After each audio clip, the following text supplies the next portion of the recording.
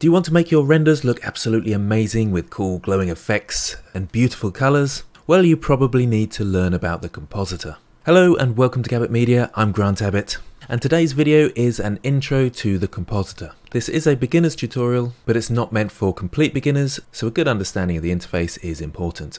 Also, the compositor uses nodes, so an understanding of the basics of nodes will certainly help. If you struggle with that, then do check out my Nodes for Noobs playlist, links in the description. And if you like what I do, then do check out my website for more great content. So first of all, what is compositing? Well, it's taking your rendered image and adding effects to it. You can do this with animations as well because animations are a sequence of still images and each of those images will have the same effect added to it that you add in the compositor. So I'm in Blender 2.93.4, my shortcut keys are displayed down the corner here and I've set up a really basic scene. I've got my camera pointing at these objects they're all sitting on a simple floor or plane. My spheres have a subdivision surface modifier with two levels, the same as my monkey. And these cubes do have a bevel modifier, but that doesn't make too much difference. There's also another sphere around the back there, so I'll just move my camera slightly so you can see that easily. I'll talk about the shading quickly, so I'll go to the shading workspace and I'll turn on material preview mode. Now it looks all flat and a bit rubbish. That's because it hasn't got any of Eevee's special effects on. So if I turn on the ambient occlusion, and you can turn this up and down depending on what you need. I think somewhere around there looks quite nice. You've got the bloom as well to add a bit of glow to our emissions. And you've got screen space reflections there. And it looks quite nice. I'll just quickly go through my materials. So we've got some metal spheres with no roughness and full metallic. The monkey is full metallic with a bit of roughness. These are just sort of plastic, so they're no roughness and no metallic. And the emissions, if I click on those and scroll down, you can see the emission is a color and it's a strength of 10.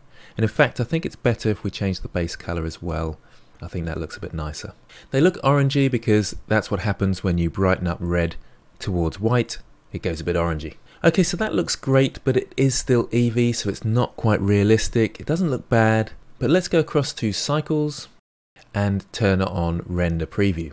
Now, Cycles certainly has better reflections, and these emissions are actually emitting light. So it is certainly better from a realism point of view, but it doesn't have those cool looking effects that Eevee does. So how do we go about getting those? Well, that's where compositing comes in. But before we go to the compositor, I just want to say that I have got an HDRI in the background. That's why you're seeing these nice reflections. So if I go across to the world, you can see an HDRI there.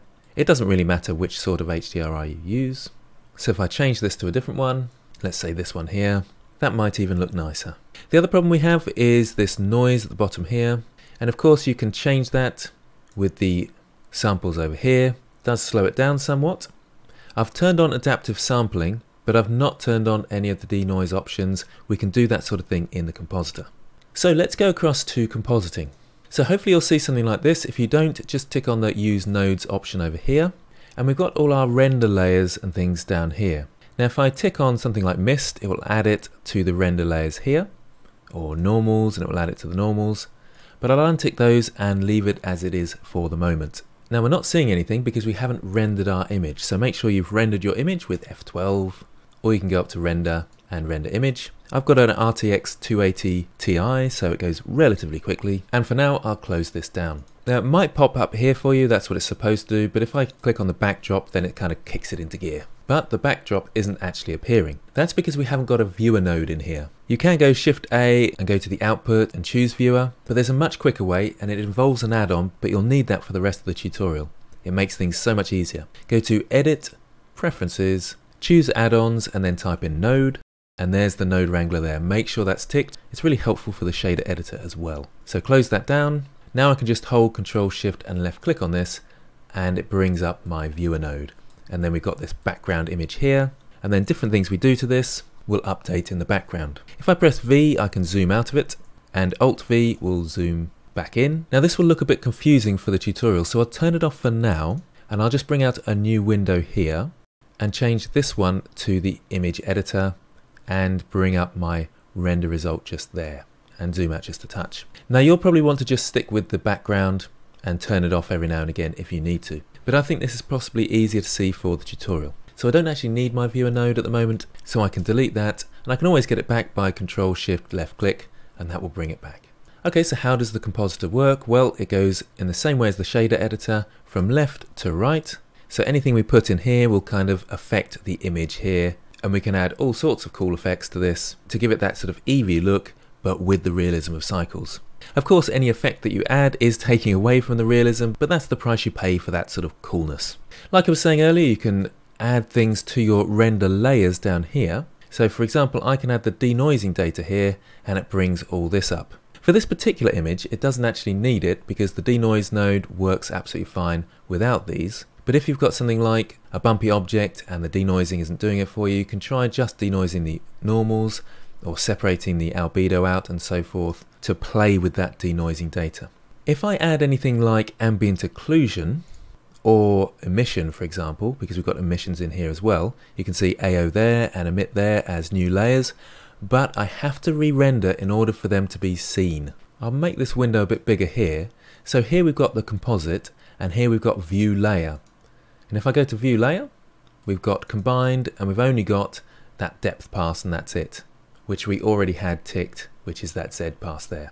So the emission and ambient occlusion aren't in these rendered layers here. So if I press F12 again, I've re-rendered my image, I'll close that down. Now if I go up to the top here, under combined, we've got some denoising data because I forgot I'd added that as well. And we've got the emission and the ambient occlusion as well.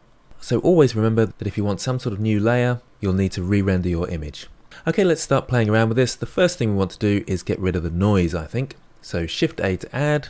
The denoiser is under filters, but you can always search for it up here. But filter, denoise, and I'll want to add that in in between my render layers and my composite. So just in here. And I'm not seeing any update and that's because I'm still on view layer. Let's go back to composite because that's the composite here and I need to make sure the composite's up here. And there we go. The denoise has done its job. I can see the difference it makes by clicking on the node and pressing M to mute it. You can see it all noisy there and then M to unmute it and there's the denoise. Again, we've got all these other denoise options that we can plug in, but it's not going to make a lot of difference to this image because they're fairly basic materials. Okay, so what about that cool glowy effect that Eevee had? Well, I'll just make this a bit smaller in here and bring this across and we can add in a filter that does that. So Shift A to add, again it's under filter and we've got glare. Now a quick question to you, where do you think I should put it before the denoise or after? Have a quick think about the implications of that. Okay, so the correct spot is afterwards. So if I slot it in here, I can just go over that noodle and left click, and you can see the glare being added.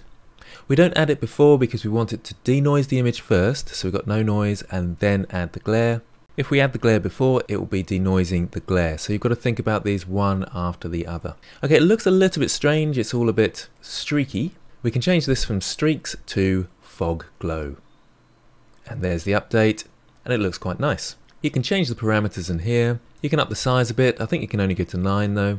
And you can change the quality. A lower quality actually kind of increases the effect in a way. But I think I prefer medium. Now I really want the glare just to affect the emissions and not really the metals. So how can I do that? Well, I've got my emit layer here. Remember we turned on emission down here in the light layers and the ambient occlusion. Well, I can come out from this emit layer and bring that into the glare and mix the main image with the emission. So first let's unplug the glare, bring the main image back in there and control right click to cut that off. So we're back to just the denoised image. Let's take a look at our emit. I can control shift left click and keep left clicking until we get down to the emit. Although I can't see it, I need to bring back my backdrop at this point. And there you can see the emit. And this is me control shift left clicking through and that's how you can kind of go through your image. So here's my emission. It's not noisy, so we don't need to denoise it. So we can go straight into the glare from the emit. I'll turn off the backdrop for now. So we've got our main image denoised and the emission with some glare. In fact, let's see what that looks like. Control Shift left click on the glare and turn the backdrop back on.